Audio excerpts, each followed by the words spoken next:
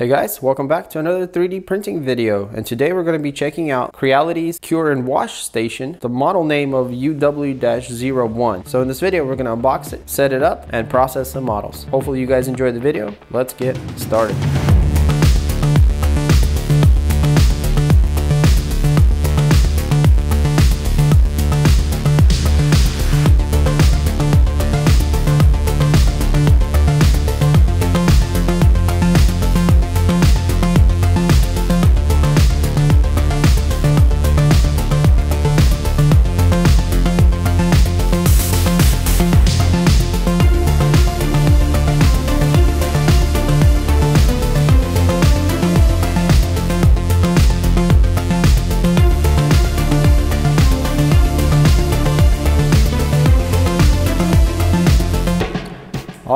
So this is Creality's version of the wash and cure, so I'm pretty excited to see how it's put together and works. I do like Creality products quite a bit, and most of their stuff is a very good value for what you get. So this is the box it comes in, the size of the package, which is 30 by 30 by 50, and the shipping label says 13 pounds. All right, so from my experience, opening resin printers and things like this is best from the bottom. We can see Creality's using the soft black foam. And this is how it comes packed. And then the very top, we got a layer with a few things in here. So we got a user manual, a box here with a power adapter, and it is 24 volts, 2.5 amps, and also the cord for the power brick.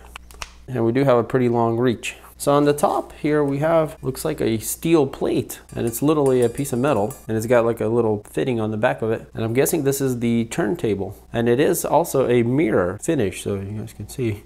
All right, so it looks like the whole machine here is in a plastic bag. So let's go ahead and flip it around.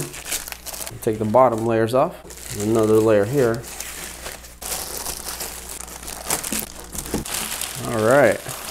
So it looks like there's a lot of stuff packed inside. We got this enclosure lid here and it's like a orangey color. And the reason it's this color is because it helps prevent UV rays of getting in or getting out of the machine. So there's a little more foam. Looks like we have some tools and a bearing, extra part looks like. We got the basket here and inside the basket we got more foam and in there we got some kind of bracket. So this looks like some kind of attachment to something and also another kind of bracket. Yeah, pretty interesting. And this is the basket itself. So as you guys can see, it's not very deep, kind of shallow somewhat, but technically should be more than enough for most things. And you guys can see it's pretty big volume here. So. All right, now here we have the container. And there's actually more foam in here.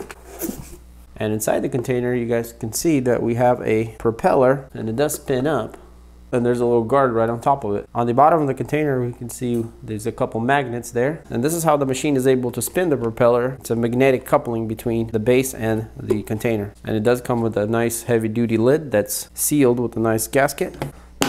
Just clip together. So yeah, and that looks like it's everything here. So the main machine here is all metal. Right in the middle here, we have a rotating shaft that this rotating plate actually clips into or slides into just like that. So overall, a washing cure machine is actually quite simple to use and it's really not that complicated. And we're gonna go through the full process here so you guys can see how everything works. But let's go ahead and grab our manual. And in there we also get a thank you card and after sales card. So let's see what this manual looks like here. So yeah, here we have the parameters, all the parts included, and how to use the machine. So Creality does very well with their manuals, so it's quite simple to understand here. So on step three here, it shows us what that bracket is for. It looks like it's to hold the build plate. This one here, and you can adjust it higher and lower, and it simply just slides in right into here, just like that. So this is an adjustable one. So you can see you can go lower and higher depending on you know what model you got in there. So the idea here is when you're done printing, you can connect it to this and that's how you dunk it into the solution. So this is quite an interesting design choice here. And this other bracket also serves the same purpose. Goes right in here.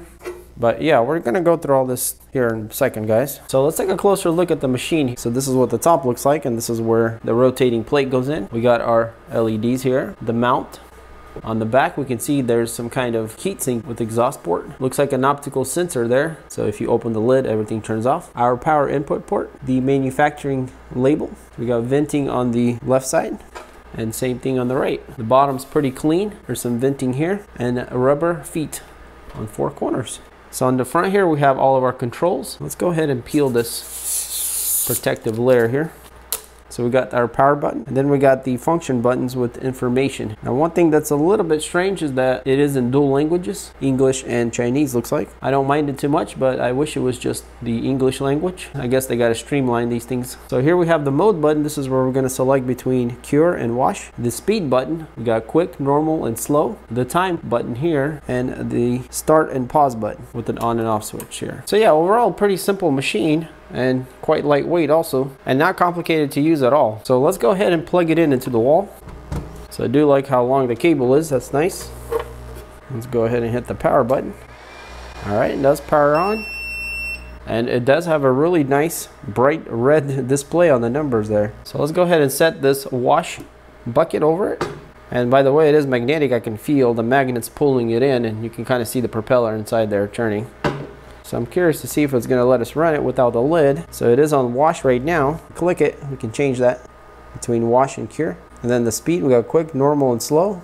Let's go to normal here. The time is set on two minutes automatically. Let's see if we click it. Okay, it just cycles through a different time. And it goes all the way to 60 here, 70, 80, keeps going. Okay, and then 90 was the highest. And it looks like you just have to cycle through it to get to the time you want. Almost wish they would have put an up and down button for that. So now we just push play and it should start, but it doesn't because the lid's not on. So let's grab the lid and put it over the machine. So now it should start up. And sure enough, there it goes. And I don't know if you guys can see, but the propeller is spinning up or spun up in there. Let's see if we can change this on the fly. Yeah, okay, you can. So it's slowing down. It's actually quite slow at the slow rate and then quick yeah, it's pretty quick. So quick and medium seems to spin it pretty quick and then the slow really spins it slow. So And we can see the countdown here. So once it counts down, it's gonna stop. But obviously we can pause it and it'll stop and then continue it. Now another way it's gonna stop is that if we take the lid off, it's gonna know and it stops. So to cure, you're gonna do the same thing. You're just gonna use this rotating plate, put your model on it, close the lid, turn it to cure mode, two minutes, and then push play. And then our ultraviolet lights will come on and our turntable is spinning, which is on quick. Let's see if we can slow it down. So yeah, you can control how fast it turns with the speed button here. So I'm kind of curious if you can add time as it's working. Let's see. No, it doesn't let you do anything. So I guess if you pause it, okay, now you can add time if you pause it and continue. So yeah, it seems to work very well and it's quite intuitive, not too hard to figure out. So I'm gonna go ahead and stop this and I wanna show you guys that we are printing a model over there on the Creality LD002H. So this is a monochrome printer also, and we're printing an Eiffel Tower to process it in the wash and cure. So if you guys are interested in that printer, I did a review on it, so check that out. It's a great resin printer being monochrome, which is absolutely what you want these days. And Creality made it a pretty great value. And you guys can see that they have a very similar design language. So they're a pretty good pair together. Now the tops are not the same color. The printer itself has more of a red, but other than that, the base itself looks very similar.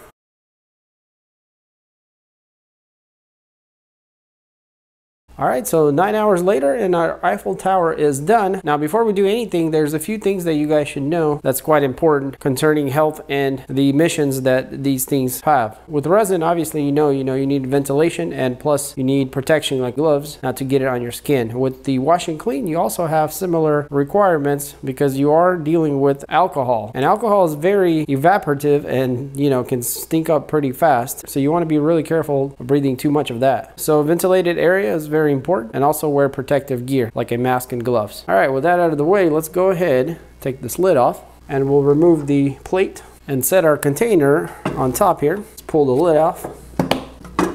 Now with this washing cure, it looks like you don't use the lid at all as you're washing it because it actually doesn't even fit in there the way it's designed. So you only need the lid to store it away if you want to keep, you know, your alcohol in here as you continue to use it. So as you guys probably guessed, you will need alcohol. And I have three bottles here and these are actually not brand new. I have recycled them so they're not completely clear, but I'm using it as much as I can. So on the container itself, there's markings here in milliliters and these are about a thousand millimeters each, a little less. And our 3000 mark is right here. So three of these bottles will only get us to here, which I think is enough for our model, but we'll see, maybe not. So let's go ahead and fill it up. So keep in mind guys that you will need a lot of alcohol. So if you buy a wash and cure machine, don't forget to get alcohol. All right, so we're actually right at the 3000 milliliters there. So I'm gonna go ahead and put on the gloves. Now there's a couple ways that you can use this wash and cure, which the first way is you can put things in the basket and then the basket goes into the alcohol.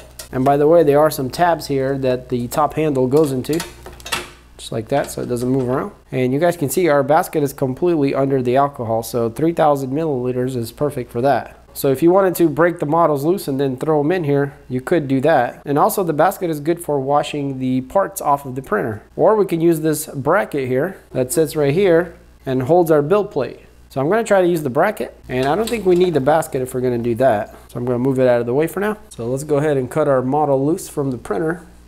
Slide the plate out so it looks like they're expecting you to use this knob here from the printer to actually connect to the bracket, which would have been nice if they included an extra knob. Now technically you don't even have to tighten it, it seems to sit there either way. But So now we can adjust this thing and tighten it up when we get the right elevation.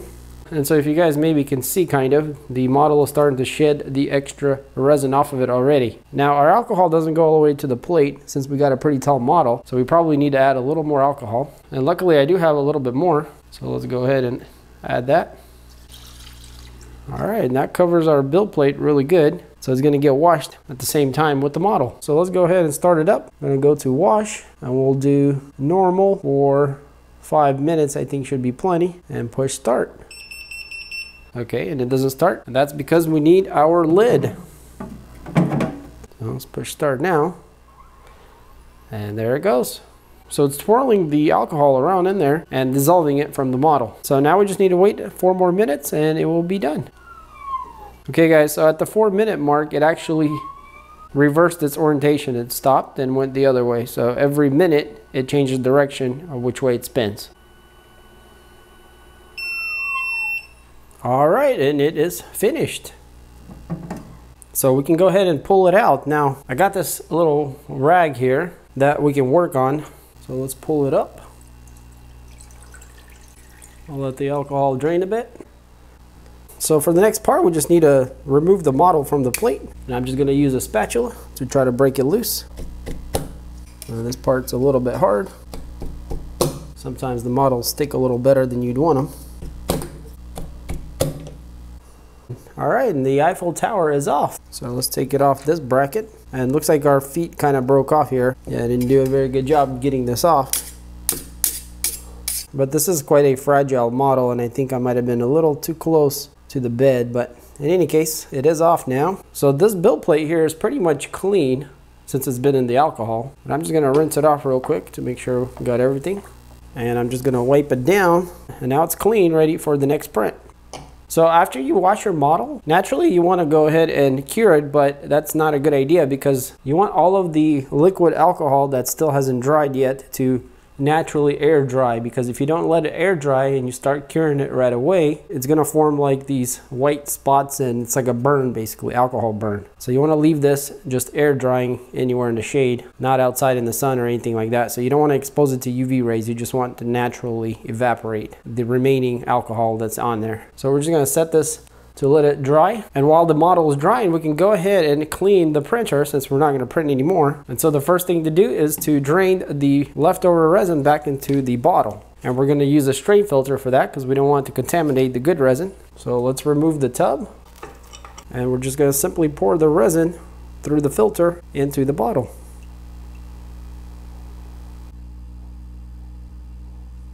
Pretty simple process. So depending how patient you are, you can, you know, get as many drops out as you want. But I think that's good right there for us. So let's go ahead and close this bottle. So now we can put this whole tub into the wash to wash off the rest of the resin. I'm not sure if it's gonna fit in the basket. Let's see. No, it does not. Upright it will, but that's probably not enough solution there to make it work. Yeah, we'll have to have it pretty much all the way full. So I'm just gonna lay it in there the way it is. Well, actually guys, it doesn't even fit in there because of these knobs. So I guess either way it has to go in like this. But yeah, we can just set it in there, run it for two minutes, flip it around, and then run it for another two minutes, and that should clean it up really good. Gotta put our lid on before we can start it. Hit the start.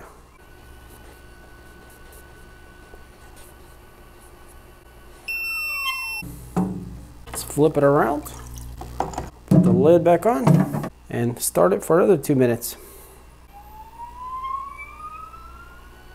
All right, so this thing should be really clean. So all we gotta do is just wipe it off and it's ready for next time's use. So yeah guys, you can see how convenient it is when you have all the right tools and the cleanup process is very simple. And now since we're done with the wash, we can go ahead and take the whole container off, put our lid back on, and now we have a whole tub of alcohol that's ready to use for the next time around. And you can keep cleaning models in here, you know, until it gets to the point where it's too cloudy and, you know, too diluted. And usually you can process about 30 to 50 models depending on what kind and how much, you know, resin goes into it, the alcohol. But yeah, it's pretty economical overall. And as you guys see, it makes life really easy. All right, so our next stage is curing. We're gonna put the rotating plate back on. Then we're gonna grab our model, overall pretty dry. We're gonna set it on the plate, put our lid on, change it to cure, and we'll set the timer to 10 minutes and the rotation to slow since we don't want it to really rotate fast and we'll start it and there we go and as you guys can see even at slow it still rotates pretty quick so the UV lights there in the back are curing the model and the mirror on the plate you know is bouncing the light everywhere so it can cure it you know from every direction. So the fans do kick up when it's in UV mode. So it is a little bit louder but it's not bad. So yeah now we just gotta wait till it cures and that'll be the whole process of this wash and cure. And as you guys saw there it's not very complicated quite simple to use. Overall quite intuitive just keep in consideration the safety. And this makes resin printing a lot more enjoyable. And not only that guys we're gonna see here in a second up closer of what the Eiffel Tower looks like. And it's quite remarkable what a wash and cure does to a model compared to not having it.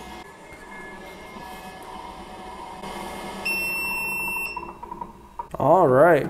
So the model should be pretty dry now. Yeah, it feels completely dry and looks dry. So yeah, looks like it did a really good job in curing it. So let's take a closer look at the model here. And this is what makes the washing cure very well worth the process, you know, not including how convenient it is, is that it makes all your models very detailed. So if you guys look at the individual braces and the railing, it's quite incredible how detailed this Eiffel Tower is. I can tell you guys from experience printing quite a few things that it never looks this good no matter how you try to process it yourself. And if we look all the way up here where it's super fine, it's very detailed and quite amazing how such small things can, you know, still retain their definition. So you guys can see here at the very tip how thin that is and how much detail is in there. In any case, it's a very impressive result to say the least. So to conclude, if you are doing resin printing and you don't have a cured wash, you're really missing out on the full experience, not only print quality, but also the ease of use so if you don't have one yet, I would definitely recommend to give it a shot and I'm sure you'll never go back after that. In any case guys, hopefully you enjoyed this review of Creality's Wash and Cure Station, the UW-01. So if you want to pick up this model for yourself, I'll have some links in the description. And if you enjoyed this video, then hit that like button. And if you want to see more 3D printing stuff, check out my playlist and also stay tuned for more videos. I do have more printers coming up. So as always guys, thanks for watching and I'll catch you on the next one. Peace.